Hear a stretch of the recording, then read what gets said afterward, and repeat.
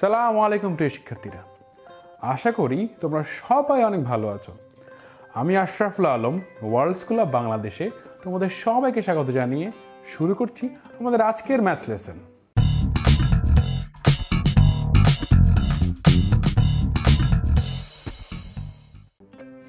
আজকে আমরা দুটো জিনিস শিখব। প্রথমে হাউস অফ ওয়ান বা একের বাড়ি।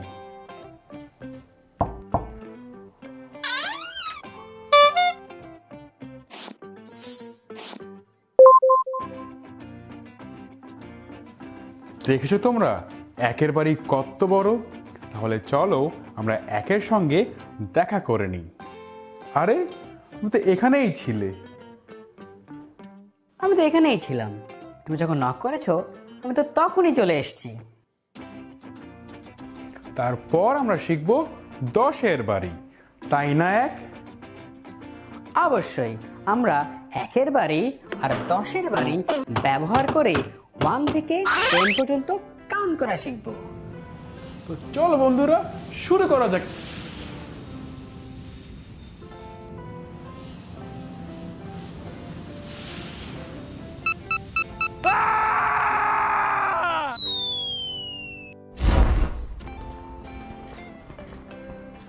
এর আগের লেসনে আমরা ওয়ান থেকে নাইন পর্যন্ত কাউন্ট করা শিখেছি। তোমরা যদি সেই লেসনটি না দেখে থাকো তাহলে এক্ষুনি দেখে আসো তার লিঙ্কটি উপরে ডান দিকে দেয়া থাকল। এর আগের লেসনে আমরা শিখেছি ওয়ানের ভেতর একটি মাত্র ওয়ান থাকে, আর সেটাকে আমরা ওয়ান দিয়ে বুঝাই। এখানে আমরা একটি মাত্র ডিজিট ওয়ান ব্যবহার করছি। টু এর ভেতর দুইটি ওয়ান আছে। আর সেটাকে আমরা টু দিয়ে বোঝাই। এখানে আমরা একটি মাত্র ডিজিট টু ব্যবহার করছি।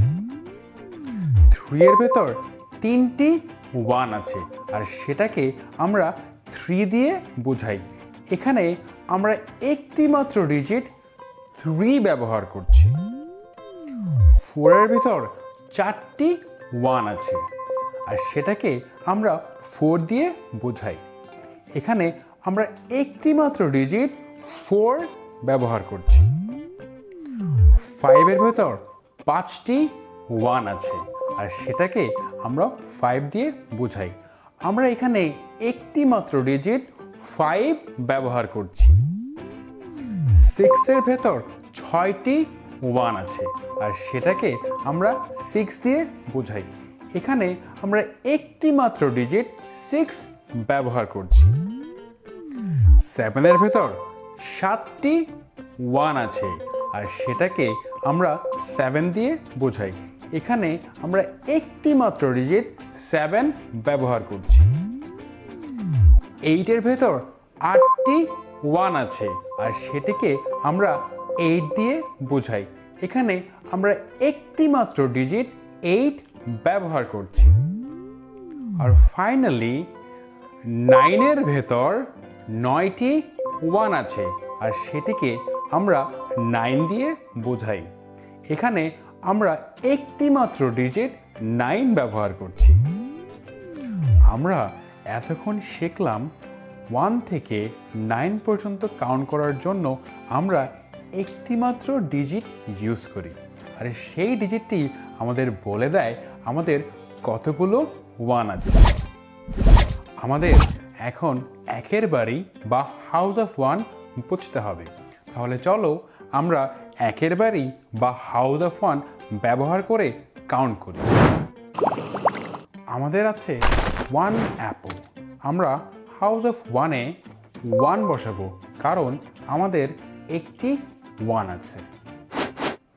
আমাদের আছে টু অ্যাপলস আমরা হাউস অফ ওয়ানে টু বসাবো, কারণ আমাদের আছে দুইটি ওয়ান আমাদের আছে থ্রি অ্যাপলস আমরা হাউস অফ ওয়ানে থ্রি বসাবো, কারণ আমাদের তিনটি ওয়ান আছে।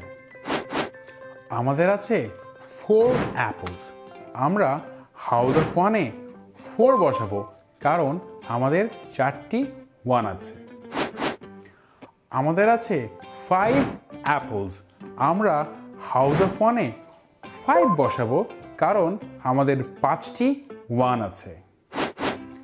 আমাদের আছে সিক্স অ্যাপলস আমরা হাউস অফ ওয়ানে সিক্স বসাবো, কারণ আমাদের ছয়টি ওয়ান আছে। আমাদের আছে সেভেন অ্যাপলস আমরা হাউস অফ ওয়ানে সেভেন বসাবো, কারণ আমাদের আছে সাতটি ওয়ান আমাদের আছে এইট অ্যাপলস আমরা হাউস অফ ওয়ানে এইট বসাবো, কারণ আমাদের আটটি ওয়ান আছে। আমাদের আছে নাইন অ্যাপলস আমরা হাউস অফ ওয়ানে নাইন বসাবো, কারণ আমাদের নয়টি ওয়ান আছে।